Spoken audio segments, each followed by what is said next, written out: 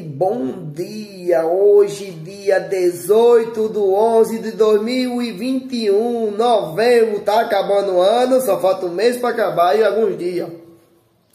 O que eu tenho para dizer a vocês, meus amores, o que eu tenho para dizer é só hoje, viu?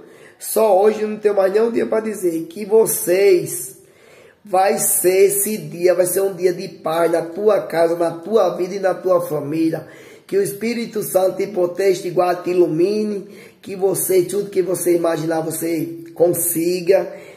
Faça o bem sem ver a quem. Negócio de fazer o mal, eu sou uma, uma prova de que eu, não, eu não era muito bom. Tudo que o povo fazia comigo, eu queria se vingar, mas hoje eu, sabe o que eu digo para essa pessoa?